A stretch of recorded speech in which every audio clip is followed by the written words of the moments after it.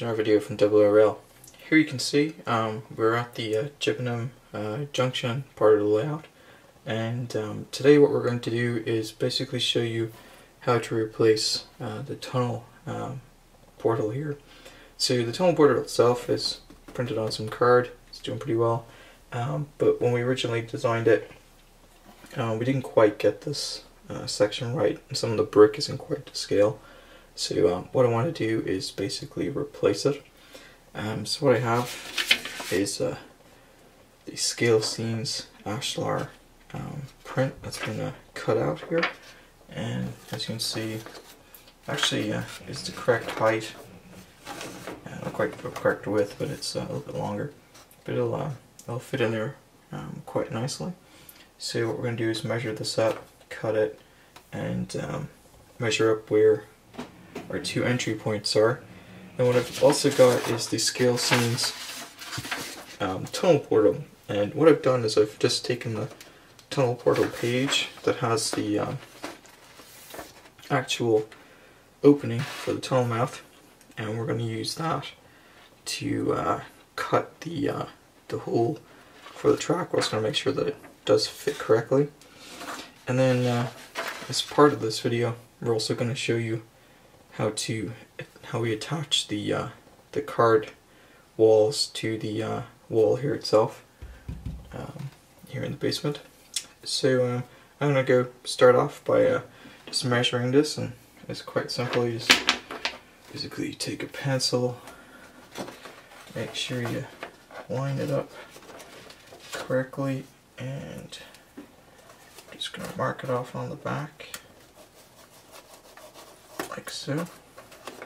You see it's uh, left a mark uh, right there on the back and we'll use that to cut it.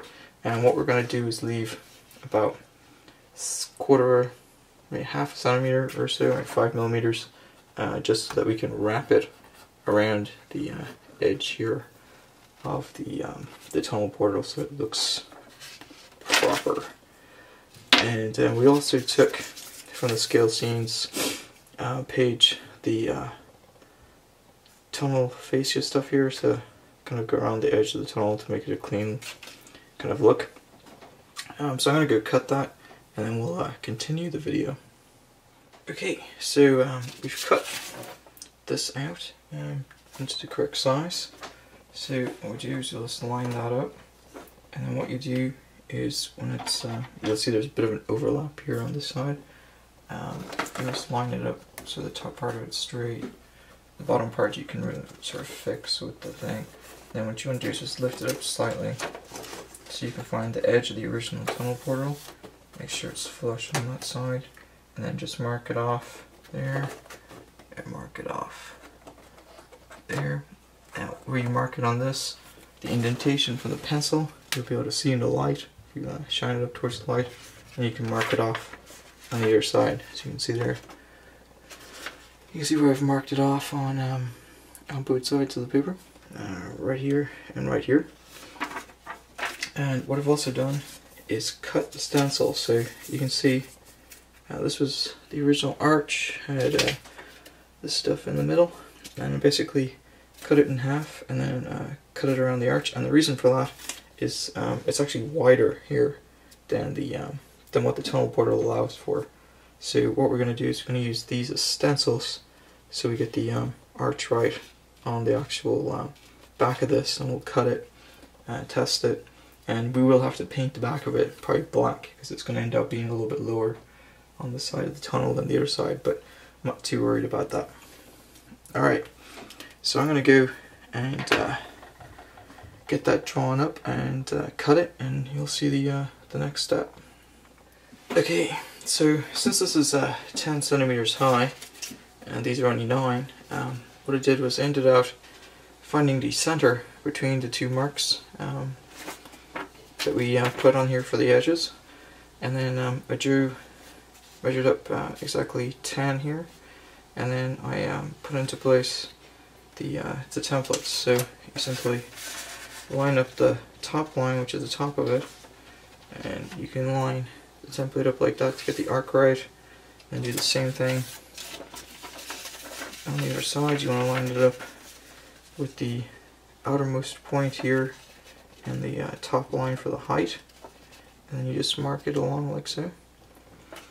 And then uh, basically you end up with something like this. So we're going to go cut this out completely and that should drop into place. Okay, so there you can see uh, we've got it cut out and then we uh, also glued it in place. Uh, there's a bit of an overlap, we'll deal with that in a minute. Uh, you can see there for it to do that. So you can however see there's a new problem and that's that the old um, section, the, the bridge here, is a slightly different curve and we didn't quite have it right the first time around. So what we're going to do is uh, take the knife and cut that piece out and cut that piece out and do any adjustments and we should be good to go. Okay, so you can see there um, we've cut this out with the X-Acto knife. And um, one of the things that we did have a problem with was the uh, tunnel mouth because it's bigger. The um, inside curved wall um, was a little bit uh, too narrow and there wasn't quite enough play in it to, to stretch it out.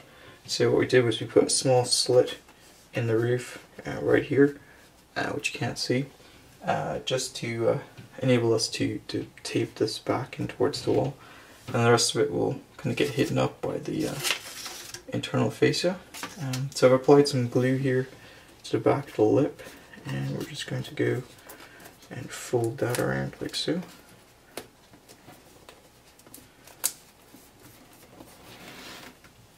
And um, there you have it in terms of um, the tunnel mouth. So the next thing we're going to do is stick that wall in from behind and glue it up. And also uh, glue into place the, uh, the fascia there to cover the kind of uh, rough edges around the side of the tunnel here. So I'm going to go cut this out. It's a bit of a task. And then we'll um, show you the rest. Okay, so uh, I decided I'd show you how to glue the wall to the wall first since it's a lot easier. Um, and what we're actually going to do is we're going to use this um, painter's tape. Now the painter's tape will stick on the wall and stay stuck on the wall until you peel it off. Um, and we're also going to use some PVA glue. This is Elmer's glue. Okay, school glue will work. Now we're not actually going to glue the walls to the wall. Um, we're going to use the glue around the base of the wall um, to hold it to the baseboard. And we're actually going to use the tape to uh, tape it to the wall here. So the first thing I'm going to do is uh, take the actual wall and figure out where it's first going to hit the wall.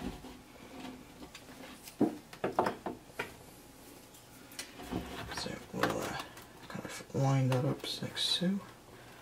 I'm going to mark on the baseboard where that goes and then roughly put a little mark behind the wall like that.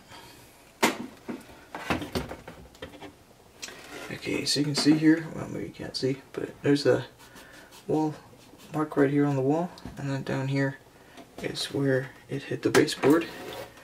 So what we're going to do is uh, tear off two strips. Uh, the painter's tape will curl, so be prepared for that. And basically we're going to stick one piece along the top here, like so. and a piece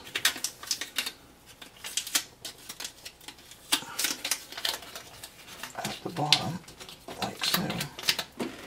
then basically you just uh, put the wall into place and, and stick it up against it.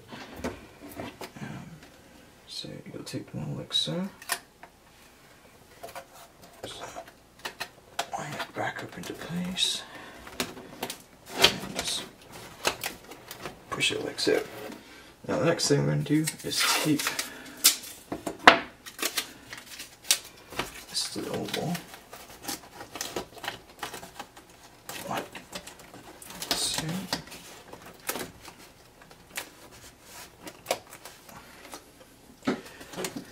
Now you can see here there's a a bit of a bit of a gap and we'll build one of these parapet things to take care of that.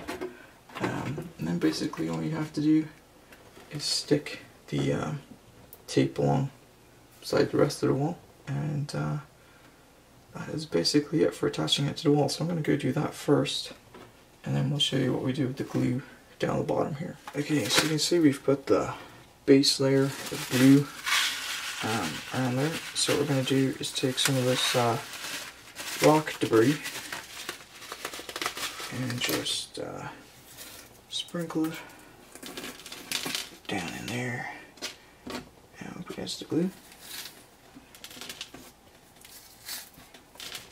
Now I know we just got a pencil and sort of sort that out like so.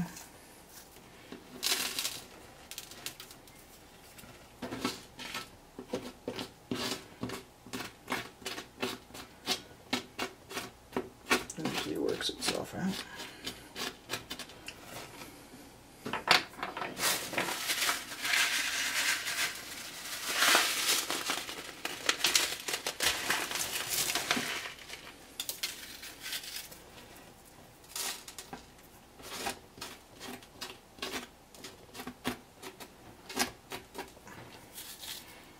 basically uh, the rock debris here is um, just hiding that seam between the uh, card and the, uh, and the baseboard itself. Also kind of gives it a nice looking effect. Usually you have uh, some sort of rock and kind of debris from uh, you know, the aging kind of walls and so on as bits fall off of them. So, down like You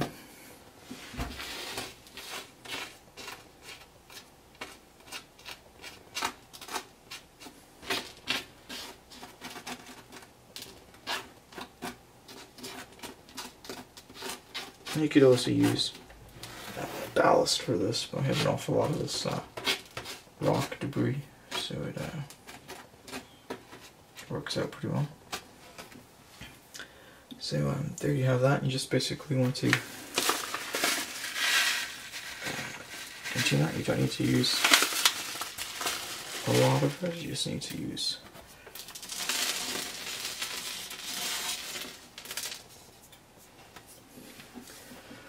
and just run it around like so.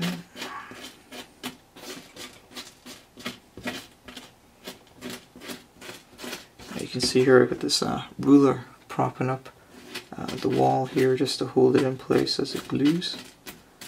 Um, once it glues I can take that out of the way and um, it should be done. Alright, so uh, there you have the entire wall. It's uh, still gluing but you can see here uh, the effect we've got by using the uh, Woodland Scenics uh, rock debris. So if you're not quite sure, uh, here's the Woodland Scenics rock debris. And uh, comes in a 25 cubic inch or 490 cubic centimeter uh, bag. It's about four dollars. It's not too bad. Also works for uh, for loads and wagons and so on. But um, so there you basically have. That's how we uh, attach the walls to the wall and for the layout you can see that we've essentially attached it to the wall without causing any damage to the wall uh, so if you ever have to remove this not that I have any plans to do that um, you just have to pull up the baseboard um, it doesn't actually it's not gonna it's gonna peel away from the wall without taking the paint off okay so there you have the end result um, it's looking pretty nice um, I haven't actually attached this yet. I'll do this in another layout update. Um, I realized I didn't quite have enough of it to go across the uh, larger opening. So uh, we'll get that sorted out in a uh, later video. So um, there you have it. We've uh, changed the fascia on the uh, tunnel portal here. Made it uh, match the, the rest of the walls. Um, doesn't look too bad. Um, once we get the other stuff in there, we'll get rid of those white kind of edges on that side. And uh, all in all, that's uh, looking pretty nice. So um, that's it for today. So until next time.